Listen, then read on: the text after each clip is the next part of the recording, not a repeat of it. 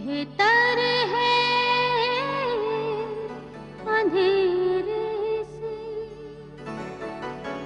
एक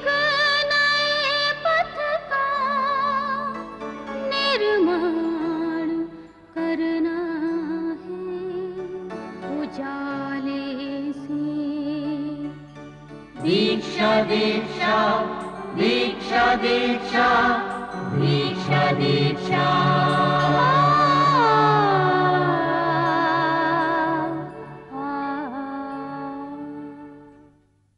नमस्कार। दीक्षा के सभी दर्शकों का स्वागत है। दोस्तों, यह बात तो आप जानते ही होंगे कि पानी हमारे जीवन के लिए कितना ज़रूरी है। पृथ्वी पर मौजूद पानी को दूषित होने से बचाने के साथ हमें इसे सुरक्षित भी रखना होगा। पानी को हम सुरक्षित कैसे रखें? यह जानने के लिए आइए देखते हैं कार्यक्रम पानी के चौकीदार। भैया, जरा देखे देखे देखे वाह वाह वाह। ये तो पानी का जहाज़ है बेटे हाँ? हाँ। अच्छा। बाबा बुआ हमें हवाई जहाज़ दिला रही थी। हाँ हाँ हाँ। लेकिन हम पहले ले आए थे। हमें यहाँ ऊँट पसंद आया तो बुआ ने ले दिया। ये तो बहुत सुंदर बात है। बेटे ऐसा है कि अब तो तुम लोगों के पास तीन तीन जहाज़ हो गए। तीन कौन कौन से बाबा जी? दो ही तो जहाज़ है। एक हवाई जहाज़ दूसरा पानी का जहाज़। बेटे तीसरा ये रेगिस्तान का जहाज़ भी तो है। बाबा रेगिस्तान किसे कहते हैं? रेगिस्तान ये तो बात तुमने खूब पूछी। बेटे रेत देखी है नदी के किनारे? हाँ बाबा बालू जो नदी के किनारे होती है उसी को रेत कहते हैं। बिल्कुल बेटे वही रेत है। तो जैसे अपना ये प्रदेश है ना उत्तर प्रदेश? हाँ हाँ बाबा। उसी तरह से बेटे राजस्थान वगैरह कुछ ऐसे प्रदेश हैं कि जहाँ पर मिट्टी की जगह बालू ही बालू रेत ही रेत रहती है तो ऐसे क्षेत्र को रेगिस्तान कहते हैं बेटे समझे? हाँ बाबा समझ गए। एक बात आपको बताएँ? हाँ बेटे। बाबा एक दिन बुआ ने हम लोगों को बताया था कि राजस्थान में सामान वगैरह ढोने के लिए ज़्यादातर ऊँटों का ही प्रयोग किया जाता है। हाँ बेटा। बाबा मैंने भी चित्र में देखा था कि औरतें अपने सर पर मटका रखकर खूब दूर से पानी ला रही थी। अच्छा बेटे बात तो तुम ठीक कहते हो बेटे। राजस्थान और जितने भी रेगिस्तान हैं वहाँ पानी की बहुत कमी रहती है बेटे। बड़ी बड़ी दूर तक चले जाओ तब कहीं किसी जगह पानी मिलता है बेटे। बाबा लेकिन ये बात समझ में नहीं आई कि ऊँट और रेगिस्तान का जहाज़? ये बात ठीक पूछी बेटा तुमने। भाई रेगिस्तान का जहाज़ वाली बात ऐसे है कि तुमने जहाज़ देखा है जैसे पानी का जहाज़ है? हाँ बाबा बाबा। उसकी एक टंकी होती है टैंक होता है। हाँ बाबा। उसमें ईंधन भर दो और ईंधन भर देने के बाद जब वो चलता है तो मीलों तक बगैर रुके और बीच में कोई ईंधन की ज़रूरत नहीं महसूस होती है और सफ़र करता चला जाता है। हाँ बाबा। उसी तरह से बेटे हमारा ये रेगिस्तानी जहाज़ है। आओ आओ भैया आओ बैठो भैया। अरे भाई नमस्ते नमस्ते। अरे हमें पता चला कि सोनू और मोनू ये आए हुए हैं सब लोग गाँव शहर से। तो हमने कहा चलो मिल आए और हालचाल ले आए सबके। अब पुष्पा बिटिया भी आ गई हाँ, साथ में बच्चों को भेजने के लिए। और क्या हालचाल है शहर में सब? हाँ ठीक है सब बढ़िया है। और बेटा ऐसा है कि हालचाल तो इनसे मालूम हो गए सब कुशल मंगल है। जी।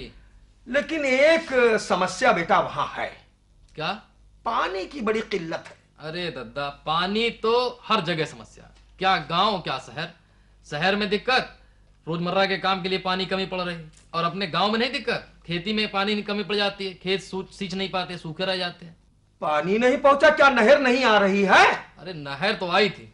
लेकिन वो धनी राम जी का खेत नहीं ना वो पास में। हाँ हाँ हाँ हाँ जो नीचे ढलान में है। हाँ वो अच्छा? वहाँ। से काट लिए। अरे। सारा पानी इनके खेत में भर गया पड़ोसी के खेत में भर गया और आगे गई नहीं पानी। सब सूखा पड़ गया। यह तो पानी की बर्बादी है। हम लोग बुआ के यहाँ रहकर पानी की बचत की ज़रूरत को समझ गए। वहाँ लोग नल के पीछे लाइन से बाल्टी लगाकर पानी का इंतज़ार करते हैं। चाचा जी आप प्रधान जी से कहिए ना कि वो लोगों को समझाएँ कि कोई पानी फालतू बर्बाद ना करे। यह तुमने सही बात कही अभी तक हमने नहीं कहा।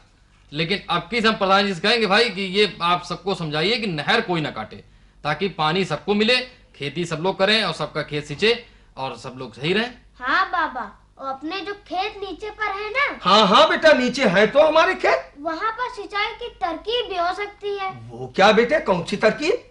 बाबा नीचे के खेतों में बड़ा सा गहरा तालाब बना लिया जाए। अच्छा।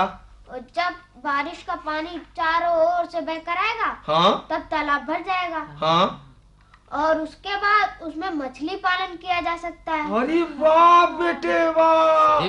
क्या तरकीब बताई बेटा तुमने? इसमें तो वही बात आ गई। हाँ।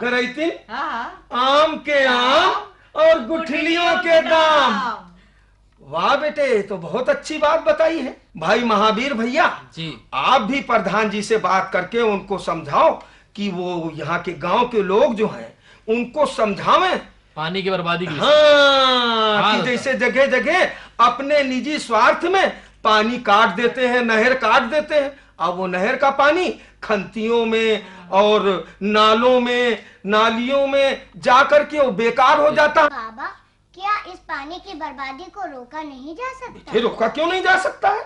बिल्कुल रोका जा सकता है। कैसे बाबा? भाई देखो इस पानी की जो कमी हमारे यहाँ है उसके कई कारण हैं बेटे। कैसे वो ये कि हमारे यहाँ आधा धुंध पेड़ों की कटान जो बेटे हो रही है ना हाँ बाबा। हम्म, इन पेड़ों की कटान की वजह से हमारे यहाँ पानी की कमी हो जाती है। पेड़ों के कटान से पानी की कमी कैसे हो जाती है बाबा? वो ऐसे बेटे जैसे देखो पहाड़ों पर बड़े ऊँचे ऊँचे चीड़ देवदार के और तमाम अन्य पेड़ होते हैं ना? हाँ बाबा। उनकी जड़ें बड़ी बड़ी दूर तक आपस में फैली होती हैं और वो वहाँ की जो मिट्टी है उसको अपने में जकड़े रखती हैं हाँ। बाबा और जो बर्फ़ जमती है पहाड़ों पर हाँ उसको वो अपने ऊपर रोके रखती है। हाँ तो उसका नतीजा ये होता है कि बर्फ़ जल्दी नहीं पिघलती। और धीरे धीरे पिघल कर और पानी की शक्ल में बदल कर और नदियों के सहारे मैदानी इलाकों में पहुंचकर वहाँ पानी की उपलब्धता को बनाए रखती है। हाँ बाबा। पानी के स्रोत का क्या मतलब है? स्रोत। स्रोत बेटे वो कहलाता है कि जहाँ से हमको पानी मिलता है। जैसे ज़मीन के ऊपर तालाबों से नदियों से और ज़मीन के नीचे कुएँ से हैंड पंप से यही पानी के स्रोत कहलाते हैं। समझे? हाँ बाबा समझ गए पानी की कमी की कारण जो है हमारी सबसे बड़ा कारण है पेड़ों की कटान। जी। अच्छा पेड़ों की कटान की वजह से हमारे जो मैदानी इलाकों के पेड़ हैं यहाँ भी तो पेड़ों की परतों पे जड़ों की परतों पे पानी वो संजोए रखती है जड़ें। और लेकिन जब जंगल कटते जा रहे हैं तो क्या होगा? वो पानी धीरे धीरे धीरे सूखता जा रहा है और नीचे बैठ रहा है। नतीजा क्या हो रहा है? पानी कमी। पानी की कमी। तुम लोग सुनते होगे बेटे कि कुआँ सूख गया। हाँ? या हैंड पंप हमने लगवाया था और अब उसमें पानी ही नहीं आ रहा। नहर के किनारे किनारे और खेत के किनारे चौकदा अपनी तरफ़। हाँ। पूरे पेड़ लगवा दिए जाएँगे। हाँ। और गाँव में हम लोगों ने इस बात की जो है तैयारी कर ली। तो पेड़ हमारे लिए जीवन है भैया। जी। और अगर पेड़ नहीं है तो फिर पानी धीरे धीरे क्या होगा कि बिल्कुल समाप्त हो जाएगा। हम जहाँ बैठे हैं ये भी रेगिस्तान हो जाएगा। तो बेटे ऐसा करो कि अब आप लोग पानी के चौकीदार बनो। हमें एक सिपाही की तरह पानी की चौकीदारी करनी पड़ेगी। हाँ बेटे। दीक्षा दीक्षा दीक्षा दीक्षा दीक्षा।